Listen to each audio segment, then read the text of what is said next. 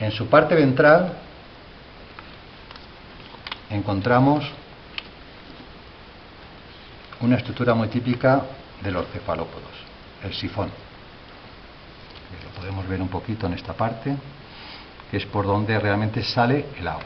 Por este sifón, es adelante, sale el agua a propulsión y el animal retrocede en dirección contraria.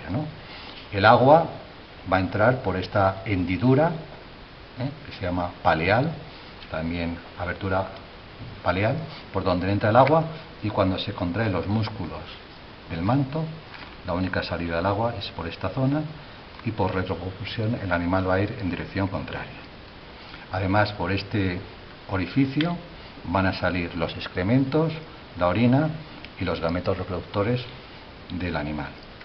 En realidad son dioicos, hay una hembra y un macho, ¿eh?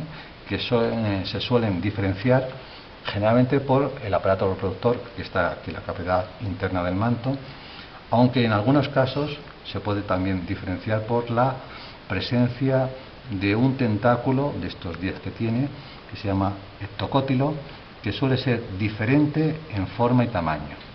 Si nos fijamos en los tentáculos, todos son iguales y es más que presumible que esto sea una hembra, puesto que no presenta ningún tentáculo que tenga una diferencia en su eh, extremo diferente a los eh, restantes.